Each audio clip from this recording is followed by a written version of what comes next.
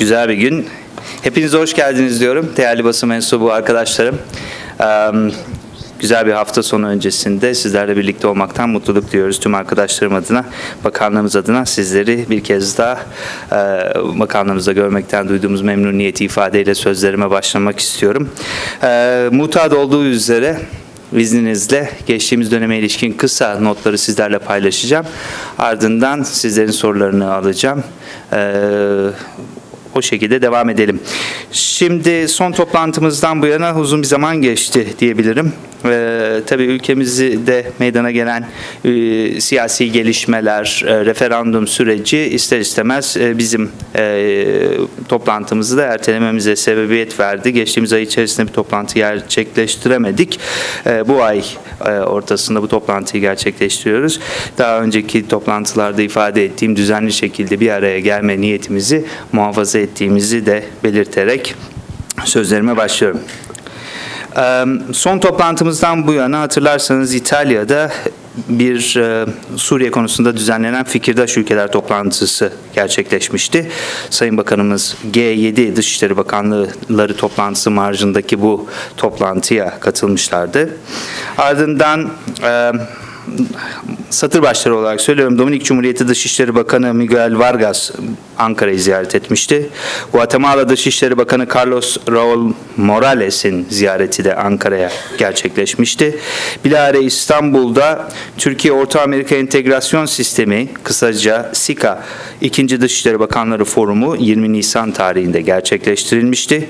Bu buraya da Guatemala Dominik Cumhuriyeti, Costa Rica, El Salvador, Honduras, Belize, Nikaragua ve Panama Dışişleri Bakanları e, katılmışlardı. Hatırlarsanız hemen ertesi günü veya bu ilk toplantı marjında El Salvador'la iki ülke Dışişleri Bakanlıkları arasında siyasi istişare ilişkin bir protokol imzalanmış. Honduras'ta hava ulaştırma anlaşması e, imzalanmış. Costa Rica ile de uyuşturucu maddelerin uluslararası kaçakçılığıyla mücadele işbirliğine ilişkin bir anlaşma gerçekleştirilmişti. Bu toplantının ertesi günü bu kere Türkiye Latin Amerika Karayipler Topluluğu SELAK dörtlüsü Dışişleri Bakanlarının dördüncü toplantısı keza İstanbul'da gerçekleştirilmişti. El Salvador, Dominik Cumhuriyeti, Ekvador ve Guyana'nın e, katıldığı bu toplantı Sayın Bakanımız tarafından başkanlık edilmişti hatırlarsanız. E, Türkiye Guyana Dışişleri Bakanlıkları arasında siyasi istişare mekanizması kurulmasına ilişkin mutabakat zaptı bu toplantı vesilesiyle imzalanmıştı. Bilare Sayın Bakanımız Ankara'da Suriye muhalefeti Müzakere Yüksek Kurulu Genel Koordinatörü Riyad Hicab'ı kabul etmişti 24 Nisan tarihinde. 24-25 Nisan tarihlerinde bu kere Sayın Bakanımız Katar Dışişleri Bakanı Şeyh Muhammed bin Abdurrahman bin Kasım El Sani ile görüşmek üzere Katar'a gitmişti. Burada Katar Emir Yardımcısı tarafından da kabul edilmişti Sayın Bakanımız. Hemen ertesinde Sayın Bakanımız e, Dış Özbekistan Dışişleri Bakanı'nın davetine icabetle bu ülkeye gitmiş. İki ülke arasındaki heyetler arası görüşmelerin ertesinde Dışişleri Bakanlıkları arasında işbirliğini öngören bir program imzalanmıştı. Sayın Bakanımız bu ziyaret vesilesiyle Senato Başkanı 1. Yardımcısı Sadık Safayev ile görüşmüş. Ayrıca Özbekistan Cumhurbaşkanı Şavkat Mirziyoyev tarafından kabul edilmişti. Bilahare Antalya'da bu kere 27 Nisan tarihinde Türkiye-Afrika Tarım Bakanları birinci toplantısı ve Tarım İş Forumu'na Sayın Bakanımız katılmışlardır. Sayın Bakanımız toplantı marjında Somali Dışişleri ve Uluslararası İşbirliği Bakanı Yusuf Garat Omar'la da görüşmüştür. Ertesi gün yani 20 Nisan, 28 Nisan tarihinde Sayın Bakanımız bu kere Malta'nın başkenti Valletta'da düzenlenen AB üyesi ve aday ülkelerin Dışişleri Bakanlarını bir araya getiren gayri resmi nitelikteki toplantıya katılmak üzere bu ülkeye gitmiştir. Sayın Bakanımız bu ziyareti vesilesiyle Avrupa Komşuluk Politikası ve Genişleme müzakerelerinden sorumlu komiser Johannes Jan Hahn, Almanya Dışişleri Bakanı Sigmar Gabriel, Avrupa Birliği Dışişleri ve Güvenlik Politikaları Yüksek Temsilcisi Federica Mogherini ile ikili görüşmeler yapmıştır. Sayın Cumhurbaşkanımızın 30 Nisan 1 Mayıs tarihlerinde Hindistan'a yaptığı ziyarette kendisine refakat eden Sayın Bakanımız, Türkiye Cumhuriyeti Hükümeti ile Hindistan Cumhuriyeti Hükümeti arasında diplomatik misyon veya konsolosluk mensuplarının aile üyelerinin kazanç getirici bir işte çalışmalarına dair anlaşmayı muhatabıyla imzalamıştır. Ayrıca Türkiye Cumhuriyeti Dışişleri Bakanlığı Diplomasi Akademisi ile Hindistan Cumhuriyeti Dışişleri Bakanlığı Dış Hizmetler Enstitüsü arasında işbirliğine ilişkin bir mutabakat zaptı da bu ziyaret vesilesiyle imzalanmıştır. Sayın Bakanımız bilahare 3 Mayıs tarihinde Sayın Cumhurbaşkanımızın bu kere Rusya Federasyonu Soçi'de düzenlenen Sayın Putin'le e, Sayın Cumhurbaşkanımızın bir araya geldikleri toplantıya katılmak üzere Sayın Cumhurbaşkanımıza refakaten Soçi'ye gitmiştir. 5 Mayıs tarihinde de bu kere Sayın Bakanımız, Sayın Başbakanımıza refakaten Moldova'ya gitmiştir. Moldova'da da iki ülke arasında 7 toplam 7 anlaşma imzalanmıştır. Bir de güzel bir gelişmede Kişinev Büyükelçiliğimizin Yeni Kançılarya binasının resmi açılışı da iki ülke başbakanlarının katıldığı bir törenle gerçekleştirilmiş ve hatırlayacağınız üzere Sayın Bakanımız da bu, bu açılışta bulunmuştu. 9 Mayıs tarihinde Sayın Cumhurbaşkanımızın Kuveyt ziyaretine de Sayın Bakanımız refakaten gitmişlerdir. Aynı gün Sayın Bakanımız 9 Mayıs tarihini söylüyorum. 9 Mayıs tarihinde bu sefer Karadağ ziyareti gerçekleştirmiştir. 9-10 Mayıs tarihlerinde e, Sayın Bakanımız burada e, Karadağ Dışişleri Bakanı'nın yanı sıra Karadağ Cumhurbaşkanı ve Parlamento Başkanı ile görüşmeler gerçekleştirmişlerdir. Bilahare e, Sierra Leone Cumhurbaşkanı Koroma'nın Sayın Cumhurbaşkanımızın davetine icabetle gerçekleştirdiği resmi ziyarete katılmak üzere Sayın Bakanımız Ankara'ya gelmişlerdir bildiğiniz gibi ee, ve 10 Mayıs günü Sayın Bakanımızla Sierra Leone'li karşıtı e, Samura Kamara arasında diplomatik pasaport hamilleri için vizelerin karşılıklı kaldırılmasına dair anlaşmayı Ankara'da imzalamışlardır. Dün de e, paylaştığımız üzere Sayın Bakanımız Suriye Ulusal Koalisyonu'nun başkanlığına yeni seçilen Riyad Seyfi kabul etmiştir. Bildiğiniz üzere bugün Sayın Bakanımız Sayın Cumhurbaşkanımıza refakaten Çin'e gitmişlerdir. Çin ziyaretinin ardından e, Amerika Birleşik Devletleri'ne gerçekleştirilecek ziyarette de Sayın Bakanımız, e, Sayın Cumhurbaşkanımıza refakat edeceklerdir. Bunlar geçtiğimiz döneme ilişkin gelişmeler. Önümüzdeki döneme ilişkin birkaç hususu sizlerle paylaşmak istiyorum. Bunlardan bir tanesi Dünya İnsani Zirvesi. Ee, bildiğiniz gibi geçtiğimiz yıl 23-24 Mayıs tarihlerinde Türkiye İstanbul'da Dünya İnsani Zirvesini başarıyla gerçekleştirmişti. Tarihte ilk kez düzenlenen zirve Sayın Cumhurbaşkanımızın himayelerinde dönemin BM Genel Sekreteri ile birlikte rekor katılımla düzenlenmişti. Türkiye zirve sonrası süreçte de insani sistemin iyileştirilmesine yönelik küresel çalışmalara katkıda bulunmaktadır. Bu kapsamda bakanlığımızca zirvenin birinci yıl dönümü vesilesiyle 18-19 Mayıs tarihlerinde İstanbul'da üst düzeyli uluslararası bir çalıştay düzenlenecektir. BM İnsani İşler Eşgüdüm Ofisi OÇA ile Birleşmiş Milletler Kalkınma Programı UNDP gibi BM e, kurumlarıyla birlikte düzenlenecek bu çalıştay insani yardımların kalkınma yardımlarıyla birlikte yapılması yönünde ülkemizin önderliğinde başlatılan çalışmaların yeni bir örneğini teşkil edecektir. İstanbul'da gerçekleştirilecek diğer bir zirve de bildiğiniz gibi Karadeniz Ekonomik İşbirliği zirvesidir. Karadeniz Ekonomik İşbirliği'nin 25. yılı kutlanmaktadır. Bu 25. yıl vesilesiyle 22 Mayıs tarihinde bildiğiniz gibi bir liderler zirvesi İstanbul'da Sayın Cumhurbaşkanımızın ev sahipliğinde düzenlenecektir. Onun öncesinde 21 Mayıs tarihinde Dışişleri Bakanları toplantısı yapılacaktır. E, bu zirveye ilişkin e, bilgileri önümüzdeki günlerde sizlerle paylaşacağız ayrıntılarını. Ancak sizlerle daha önce paylaştığımız basın mensuplarıyla paylaştığımız bir husus bu zirveyi takip edecek basın mensuplarının akreditasyonuna ilişkin. Akreditasyonlar için bugün bildiğiniz gibi son gün ee, eğer akredite edilmemiş basın mensubu varsa bu toplantı vesilesiyle kendilerine bugün akreditasyonun e, kapanmakta olduğunu belirtmek istiyoruz. Sorularınıza geçmeden önce son bir hususu söylemek istiyorum. Bildiğiniz gibi önümüzdeki pazar günü Anneler Günü biz Dışişleri Bakanlığı olarak, Dışişleri mensupları olarak başta şehit anneleri olmak üzere tüm annelerimizin anneler gününü kutluyoruz ve tüm annelerimizin ellerinden öpüyoruz. Şimdi sorularınızı alabilirim.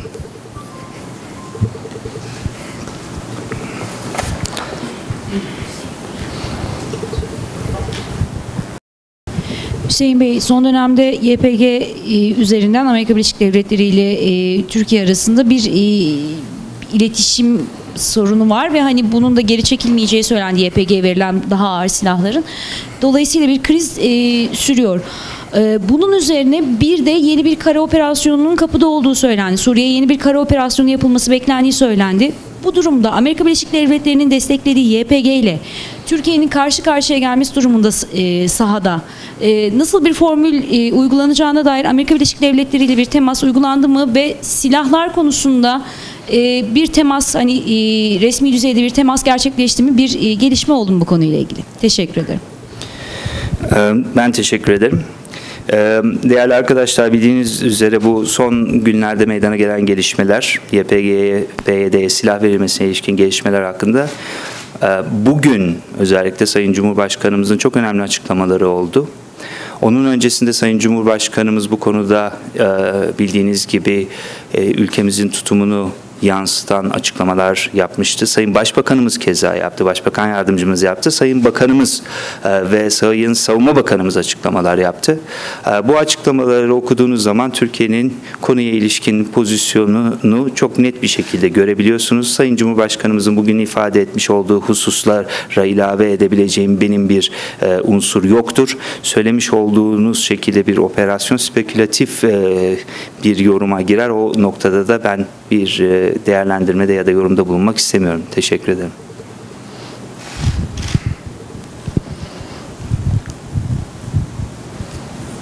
Hüseyin Bey, e, Sayın Cumhurbaşkanı'nın özellikle NATO zirvesi öncesi Brüksel Belediye Başkanı'nın yapmış olduğu açıklamalara tepkisi de vardı bugün e, havaalanından ayrılmadan önce. Acaba Dışişleri Bakanlığı nezdinde Belçika'ya e, Türkiye'nin rahatsızlığı iletildi mi? E, belki ben kaçırmış olabilirim. E, teşekkür ederim. Ee, ben teşekkür ederim. Sayın Cumhurbaşkanımızın açıklamaları dediğiniz gibi bu konuda da e, son derece netti. E, kaldı ki e, ifade edilen Brüksel Belediye Başkanı'na atfen ifade edilen şeyler basında yer aldı. Sayın Cumhurbaşkanımızın dediği gibi bizim muhatabımız resmi makamlardır, Belçika makamlarıdır ve Belçika makamlarıyla bizim temaslarımız devam etmektedir. Sayın Cumhurbaşkanımız NATO zirvesine katılacaklar. Bunu gerektirecek bir gelişme şu aşamada e, bulunmamaktadır.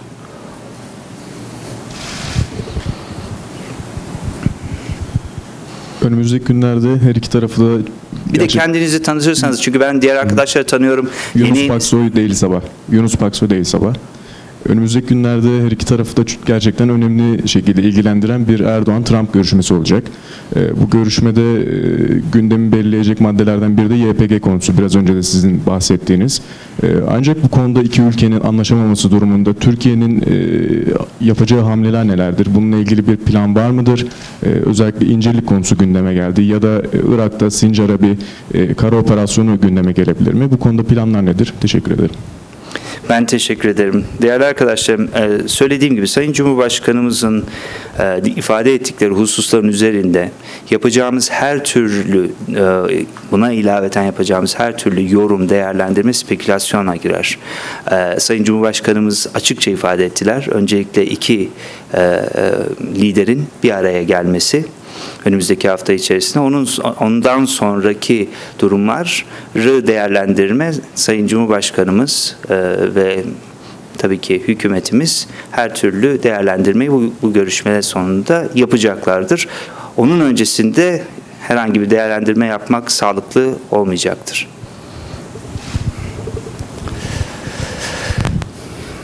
Hüseyin Mahmut Gürer Habertürk Televizyonu. Hüseyin Bey az önce siz de belirttiniz Sayın Bakan'ın Gimniş toplantısına e, bir katılım oldu. Ardından AB Bakanı Ömer Çelik, baş müzakerecinin yine Avrupa Birliği ve Strasbourg'da çeşitli temasları oldu.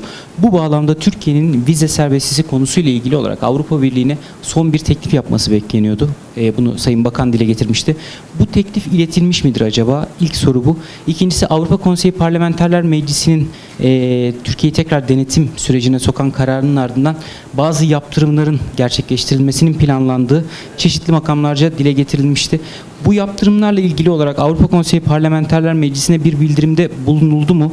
Bulunulmadıysa önümüzdeki süreçte yaptırımlarla ilgili olarak alınacak olan kararların ne olacağını bizimle paylaşabilir misiniz?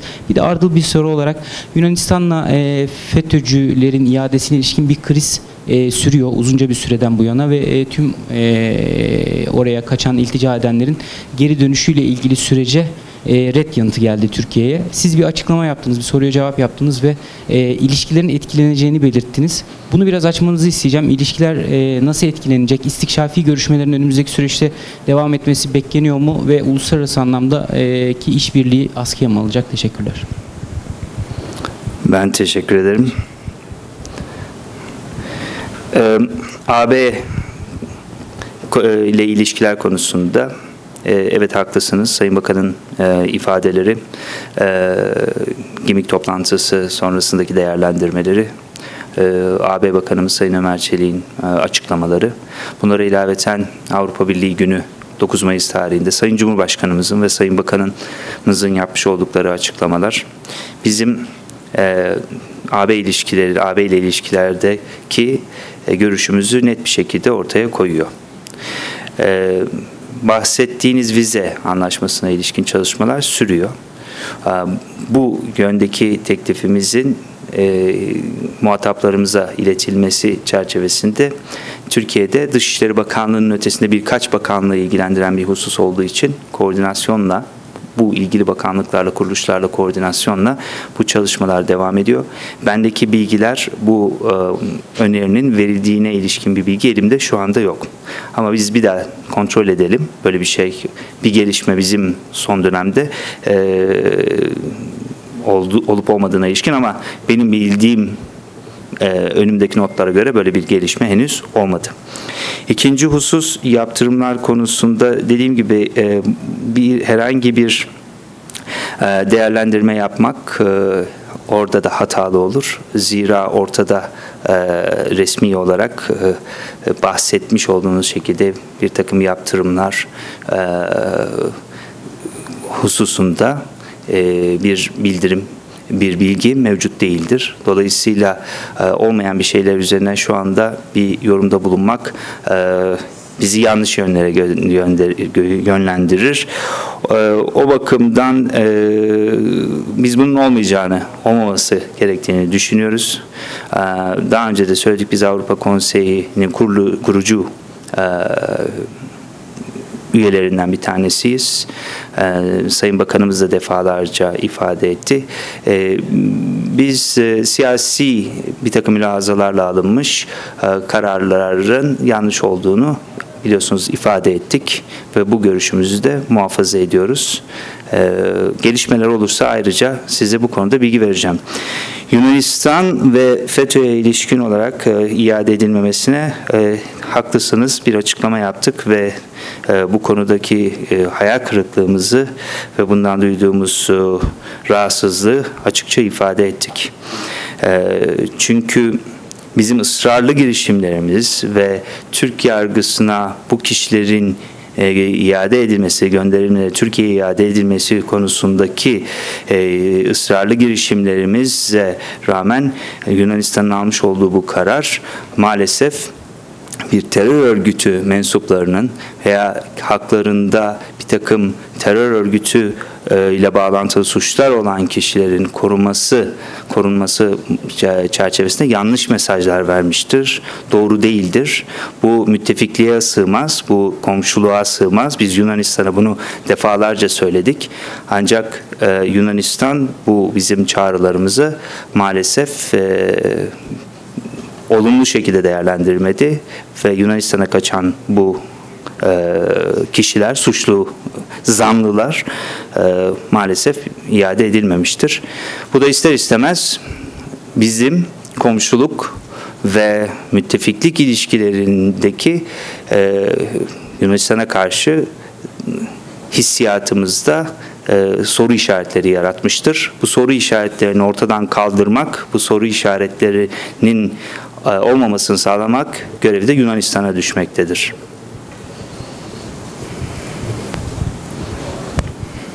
Merve Aydoğan değil sabah. Ee, Hüseyin Bey e, Yunanistan'a ek olarak e, Almanya'da FETÖ mensuplarının ilticasını kabul etti. E, buna yönelik bir adım olacak mı? E, bunu nasıl değerlendiriyorsunuz? Teşekkürler. Teşekkür ederim. Ee, bu konuda da bildiğiniz gibi bir basın açıklaması yaptık. Bugün Sayın Cumhurbaşkanımız da açıkça söyledi. Ee, Almanya'nın, Avrupa özelinde Almanya'nın FETÖ mensupları açısından bir barınma merkezi konumuna geldiğinden duyulan rahatsızlığı ifade etti. Almanya özelinde ve Avrupa genelinde ve dünya genelinde diyeyim bizim terör örgütlerinin hangi terör örgütü olursa olsun mensuplarına dost ve müttefik bildiğimiz ülkelerin kucak açmaması gerektiği e, hususunu biz defalarca ifade ettik. Bir kez daha ifade ediyoruz. Bu müttefikliğe sığmaz, bu dostluğa sığmaz. E, dolayısıyla hangi terör, FETÖ dahil olmak üzere hangi terör örgütüne mensup olursa olsun teröristlerin Türkiye'ye iadesini bekliyoruz. Kucak açmamaları gerektiğini düşünüyoruz. Ve e, ortak mücadele ettiğimiz takdirde terörizmle mücadelenin dünya küresel çapta başarıya ulaşabileceğini ifade ediyoruz. E, aksi bunun dışındaki e, eylemler, bunun dışındaki tasarruflar maalesef terörizmi teşvik edici unsurlar e, olarak ortaya çıkmaktadır. E, bireysel bazda da tabii biz bütün terör üyesi, ter, terör örgütü üyelerinin iadeleri konusunda e, birçok ülkede değişik şeyde, girişimlerimiz tabii ki yapılıyor. Her gün devam eden girişimlerimiz vardır. Buyurun. Hüseyin Bey, Suriye'de çatışmasızlık bölgeleri ilan edilmesine ilişkin bir mutabakat sağlandı Aslanı'da. Ee, Türkiye'nin bu bölgelerin ilan edilmesiyle özellikle siyasi anlamda hedefi nedir? Hedefleme, e, sonuç elde etmek istediği sonuç nedir acaba? Bu bölgelerin kontrolü için e, bazı ülkelerin e, bu garantör ülkeler ya da üçüncü ülkelerin askeri unsurlarının konuşlandırılması tartışılıyor. Hatta geçen haftalarda Türk askerinin İdlib'e gittiği şeklinde haberler de çıktı. Böyle bir hazırlık var mı? Ankara'nın böyle bir talebi var mı Türk askerinin bu çatışmasızlık bölgelerine kontrol ve denetim amaçlı gitmesi için? E, bunu sormak istiyorum. Teşekkür ederim. Ee, ben teşekkür ederim. Ee, şimdi değerli arkadaşlar bildiğiniz gibi e, herkesin üzerinde ortak uzlaşıya vardığı bir husus Suriye'de çözümün siyasi bir çözüm olacağı noktasında. Siyasi çözüme ulaşılabilmesi için devam eden Cenevre süreci de başarıya sağlanan başarı sağlanabilmesi sağlanabilmesi açısından da öncelikli olarak ateşkesin, ülke çapında ateşkesin sağlanmasının önemi ortada. Bildiğiniz gibi geçtiğimiz yılın son günlerinde varılan bir anlaşma çerçevesinde ateşkes ülkede ateşkes sağlanmasına ilişkin anlaşma e, gerçekleştirilmiş. Astana'da Astana sürecini başlatan bu gelişmenin ardından e, Suriye'de siyasi çözüme yönelik çabalarda bir ivme kazanılmıştı.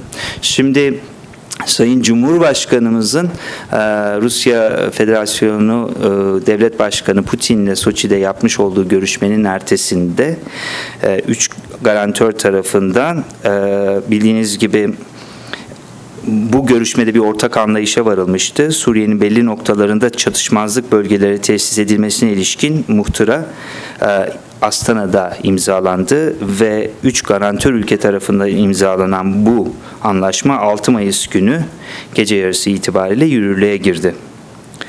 Bu mutabakat gereğince İdlib vilayetinin tamamında, Laskiye, Halep ve Hama vilayetlerinin belli bölümlerinde, Humus vilayetinin kuzeyinde, Şam vilayetinin Doğu Gota mıntıkasında, Suriye'nin güneyindeki Dera ve Kunaytra vilayetlerinin belli bölümlerinde çatışmazlık bölgeleri, çatışmasızlık bölgeleri oluşturulması kararlaştırılmış durumda. Muhtıra hükümleri uyarınca çatışmazlık, çatışmasızlık pardon özür diliyorum bölgelerinin çevresinde kontrol ve gözlem noktalarının yer alacağı güvenlikli bölgeler tesis edilecek. Bunların işleyiş ve yönetimi garantör ülkelerce oydaşmayla hayata geçirilecektir. Söz konusu çatışmasızlık bölgeleri ilk etapta 6 ay için tesis edilecek. Bu süre garantörlerin mutabakatıyla otomatik olarak uzatılabilecektir. Yine garantörleri mutabakatıyla gerekirse üçüncü taraflardan gözlemciler de bu güvenlikli bölgelerde konuşlandırılabileceklerdir muhtıranın imzalanmasını takip eden iki hafta içinde teşkil edilecek çalışma grubu çatışmasızlık bölgelerinin sınırlarını belirleyecek ve muhtıra hükümlerinin hayata geçirilmesine ilişkin operasyonel ve teknik hususları ele alacaktır. Daha önceki anlaşmalarda olduğu gibi bu mıhtırada Suriye ihtilafının çözümünde temel parametreler olarak kabul ettiğimiz 2254 sayılı BM Güvenlik Konseyi kararına Suriye'nin toprak bütünlüğü ve birliğine ve bunların yanı sıra Suriyeli kardeşlerimizin insani ihtiyaçlarına özel önem atfetmiştir. Nitekim bu mutabakat neticesinde çatışmasızlık bölgelerinde temel altyapının yeniden işler hale getirilebilmesi ve mültecilerle ülke içinde yerlerinden edilmiş kişilerin bu bölgelere geri dönebilmeleri için gerekli adımlar derhal atılabilecek, hızlı ve kesintisiz insani yardım erişimi sağlanabilecektir. Ee, Türk askerinin gönderildiğine ilişkin haberlerin doğru olmadığını biliyorsunuz. Daha önce e, açıklama yapılmıştı. Hatay Valiliğimiz bu konuda bir açıklama yapmıştı. Bir takım spekülatif haberler yer aldı. Bunlar doğru değildi.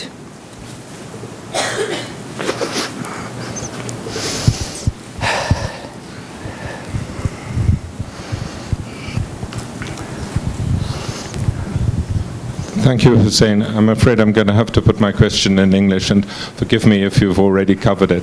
Um, uh, I was surprised when the de-escalation zones agreement was announced uh, after a meeting in Astana um, that it did not include the Turkish safe zone, Jarablus to Al-Bab.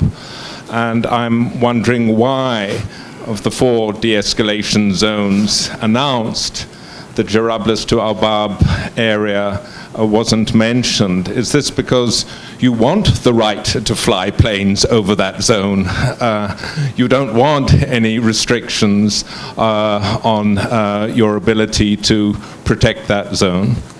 A second question is, um, as regards what might happen if President Trump does not agree uh, to reverse his decision to arm the YPG. you have said that uh, you're not going to get into any speculation as to what Turkey might do. All right, I won't ask you to speculate. I just want to ask if it is within the realm of possibilities that Turkey could say to America, that it cannot fly its planes from Incirlik if they are going to be used in support of YPG operations on the ground. Thank you. Thank you very much. Uh, soruyu anlamayanlar açısından e, Türkçesini söylemek istiyorum. Uh, I'll, I'll translate into Turkish. Ee, Astana'da bu çatışmasızlık bölgeleri imzalandığında bu anlaşmada neden Türkiye'nin kontrolündeki e, Türkiye destekli e, Özgür Suriye ordusu e, kontrolündeki bölge bunun içerisinde yer almadı? Birinci soru bu. E, acaba dedi e, arkadaşımız bunun sebebi Türkiye burada kendi elini rahat bir şekilde şey yapmak, e, kullanmak e, için mi burayı istemedi. Bu birinci soruydu. İkinci soruda e, Başkan e, Trump'ın e, ABD tarafının son vermiş olduğu YPG'ye silahlar, ağır silahlar verilmesine ilişkin kararı geri almaması durumunda Türkiye'nin incirlik üssünün kullanılmaması gibi bir kartı oynayıp oynamayacağı hususu bu iki soruyu yöneltti. İzninizle e, İngilizce cevap vereyim sonra Türkçe ne söylediğimi e, belirteyim. Uh, the main reason what I see why the the region or the zone under the control, I mean the area which you mentioned, is the fact that if you look at the agreement reached in Astana, it is basically about the regions which it, where there are conflict between the opposition and uh, the government forces. So basically, the idea of this de-escalation zones is to end the conflict, possible conflict, or the conflict between opposition forces and the government forces. Uh, the area which you mentioned, we don't have an actual situation as such because there is no conflict or there is no open fight between opposition and the government forces in this area. So it would be totally uh, irrelevant to put this area, uh, and, then as you see, these patches in the area is the, the, uh, the areas where there is actually uh, a fight going on. So this is the main idea when the two leaders agreed that to calm down the situation on the ground, to give the chance for the political uh, solution. That is the answer for the, for the first question. The second question, my answer is very simple. I cannot really speculate on an impossible, let's say, uh, measure or a possible uh, response on a speculative decision whether Mr. Trump will reverse or not reverse. It would be too premature unnecessary. Our president today said it very clearly that he will talk face to face with President Trump everything. And uh, I think uh, everything will be discussed in Washington next week. We have to wait this meeting in Washington. Thank you. Değerli arkadaşlarım anlamayanlar için veya e, eminim ki hepiniz anlıyorsunuz ama izninizle bu programı seyredecek olan arkadaşlarımız, e, vatandaşlarımız açısından da belki iki soru e, biraz önce tekrarlamıştım. İki, verdiğim cevapları da kısaca Türkçe söyleyeyim. Neden e, Özgür Suriye Ordusu ve Türk Silahlı Kuvvetleri'nin denetimi altındaki bu bölgede o bir çatışmasızlık bölgesi olarak ilan edilmedi. Şöyle söyledim, dedim ki bu bölgede Astana'da imzalanan anlaşmanın e, temel e, amacı e, hükümetle muhalifler arasındaki çatışmalara son verilmesi. Yani çatışmasızlığı sağlamak zaten şey. Bu bahse konu bölgede böyle bir çatışma zaten söz konusu değil. Dolayısıyla bu bölgenin bu grup, bu bölge diğer bölgeler arasına konması tamamen anlamsız olurdu. O sebeple onlar arasında yer almadı. Bu birinci sorunun cevabıydı. İkinci soru iki devlet başkanı e, Sayın Cumhurbaşkanımızla Trump arasındaki görüşmede bütün konular ele alınacak dedim. Dolayısıyla Trump'ın kararını geri almaması, gözden geçirmemesi konusunda karşılığında veya geçirmemesi durumunda Türkiye'nin incirliğin kullanılmasını engellemesi gibi spekülatif bir şey üzerine yorum yapmak istemediğimi, e, bunun doğru olamayacağını, Cumhurbaşkanımızın bugün basın toplantısında bütün hususları dile getirdiğini, bunlara ilave edecek bir unsur bulunmadığını, önümüzdeki hafta yapılacak toplantıyı iki lider arasında yapılacak görüşmeyi beklememizin en doğrusu olacağını, o görüşmeden sonra e, değerlendirmelerin yapılabileceğini ifade ettim. Yes. I think it's the first time that I'm doing it in English here. I don't know if I did it before, but. Uh.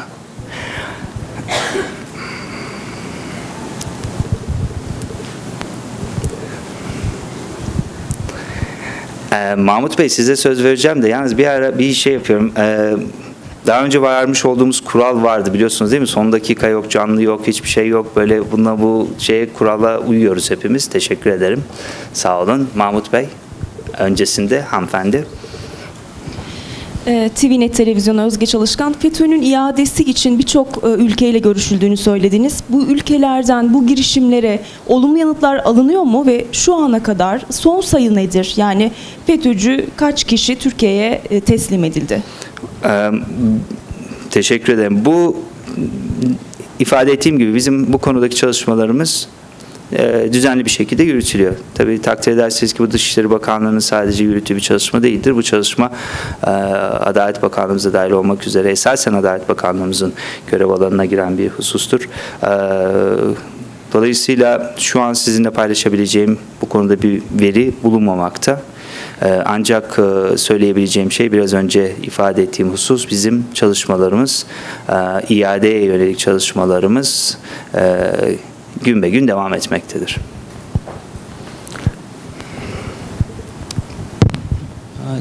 Tülay Hanım'ın sorusuna e, devamen Mahmut Gürer Habertürk Televizyon'dan e, gözlem noktaları oluşturulacağını, e, bu çatışmasızlık bölgeleri içerisinde gözlem noktaları oluşturulacağını ve etrafında da güven yani safe zone'lar oluşturulacağını söylediniz ve garantör ülkelerin buraların ira, idaresini gerçekleştireceğini anlıyoruz anlaşmadan.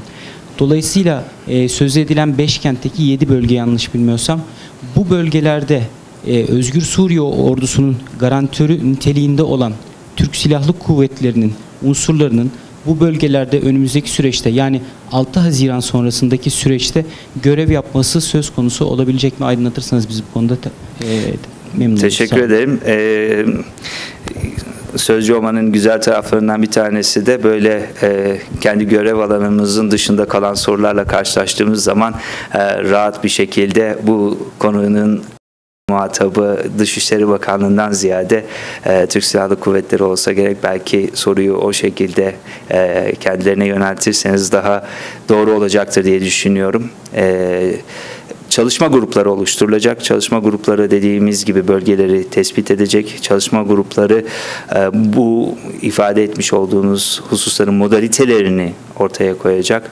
E, bunlar e, tüm boyutlarıyla değerlendiriliyor. Ee, tabii ki e, dile getirdiğiniz hususlardaki ayrıntıları e, askeri makamlarımız daha iyi bileceklerdir. Servan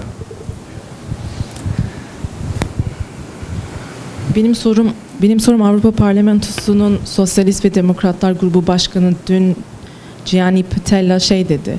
Fasılların açılması Türkiye'ye bağlıdır dedi dün. Avrupa Birliği'nin bu tutumunu nasıl değerlendirirsiniz? Ee, Aynı şekilde eminim ki Sayın AB Bakanımızın dün yapmış olduğu açıklamaları da görmüşsünüzdür. Eş zamanlı olmuş, ilginçtir. E, Sayın AB Bakanımız da 23. ve 24. fasılları hadi açın, hemen açın, biz hazırız dedi. Esasında Sayın Bakanımız, e, Sayın Cumhurbaşkanımız, Sayın Başbakanımız, Sayın Bakanımız, Sayın AB Bakanımız bütün herkesin ortak dile getirdiği bir şey. Türkiye bütün fasılları açılması durumunda buna hazır. Yani bütün fasılları açmaya, hatta bu fasılların çoğunu kapatmaya hazır şekilde e, e, hazırdır. Dolayısıyla e, bahse konu politikacının ifadeleri e, biraz bize siyasi değerlendirme, kendi belki e, seçmenlere yönelik mesaj şeklinde değerlendirmek daha doğru olacaktır. E, Türkiye hazırdır e, ve e, Sayın e, AB Bakanımızın dün dediği gibi 23-24 açıldığı takdirde hemen ilerlemeye de hazır olduğumuzu ifade etti. En e, bakan düzeyinde ifade ettik.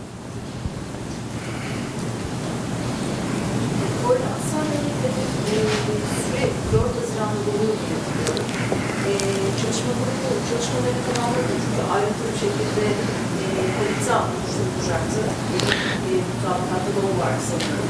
E, ya da bir takvim belirlendi mi? Yani çalışma tamamlandı mı? Önümüzdeki hafta iki haftalık süre dol- doluyor. Önümüzdeki hafta biliyorsunuz anlaşmada iki hafta içinde çalışma grubunun oluşturulmasından e, bahsediliyor. Dolayısıyla o iki haftalık süre henüz tamamlanmadı. Önümüzdeki hafta daha net bir e, tablo ortaya çıkacaktır diye düşünüyorum.